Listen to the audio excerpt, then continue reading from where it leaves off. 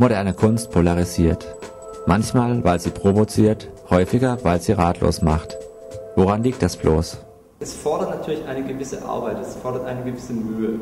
Wenn Sie irgendwo reinkommen und Sie würden alles sofort verstehen, dann würde ich sagen, da bin ich skeptisch, ob das dann wirklich noch äh, Kunst ist, die äh, irgendeine Aussage hat. Weil jedes Kunstwerk will ja irgendwie herausfordern, es will etwas Besonderes sein. Und jede Kunst in ihrer Zeit war auch was Besonderes, war eine gewisse Herausforderung vom Künstler an den Betrachter. Was will uns der Künstler damit sagen?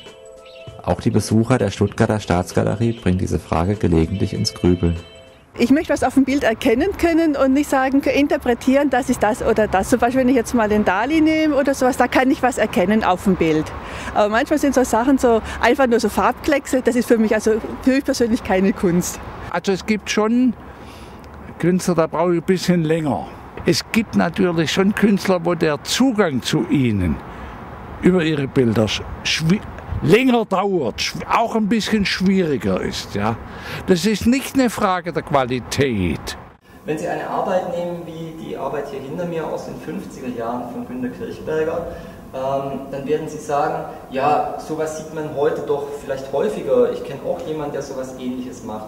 Dann muss ich aber sagen, es ist auch immer der Zeitkontext in den 50er Jahren eine solche Arbeit zu machen, bedeutete was völlig anderes vor dem kunstgeschichtlichen und dem gesellschaftlichen Hintergrund der Zeit, als im Jahr 2010 sowas zu machen.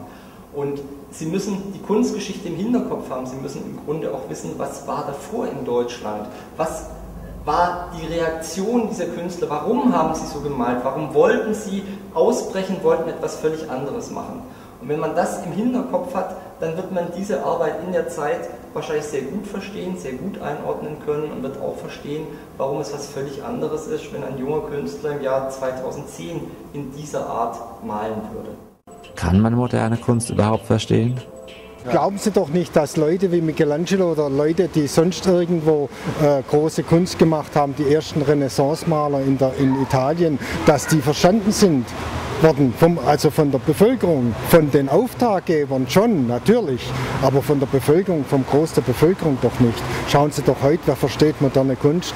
Wer versteht Leute wie Beuys, ohne dass sie vielleicht ein bisschen sich näher damit äh, informieren? Oder die äh, heutigen modernen Maler, wer versteht einen Richter? Jede Kunst sagt auch etwas über ihre Zeit aus. Beispielsweise die Arbeit hinter mir von Babak Said hat natürlich einen sehr starken Gegenwartsbezug. Äh, wenn Sie vielleicht in 40, 50 Jahren diese Arbeit sehen, werden Sie sagen, Mensch, war da nicht diese große Finanz- und Wirtschaftskrise 2008 bis 2010? Und Sie werden dann vielleicht diese ganzen Gedanken wieder in den, im Hinterkopf haben, da ging es um Millionen, ging es um Milliarden und plötzlich wird so eine Arbeit sich ganz anders vor Ihrem Auge entwickeln und plötzlich wird die Frage, die sich mit so einer Arbeit verbindet, was bedeutet sie? Bedeutet es, dass der Künstler bereits Millionär ist? Wohl kaum. Bedeutet es vielleicht, ja, was bedeutet Reichtum überhaupt? Oder was bedeutet eine Million in der gegenwärtigen Zeit? Alle diese Fragen werden wieder kommen und deswegen ist es eine Arbeit, die natürlich auch einen starken Gegenwartsbezug hat, die was ganz anderes darstellt als Arbeit, als Frage, als Provokation, als Aufgabe an den Betrachter, wie wenn der Künstler sich jetzt hinsetzen würde, äh, Pinsel und Leinwand nehmen und eine schöne Bodenseelandschaft malen.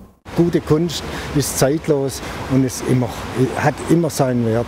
Egal wie lange die Menschen leben, egal ob sie nochmals in, in 1000 Jahren gucken sie sich in Dürer oder Michelangelo noch genauso an.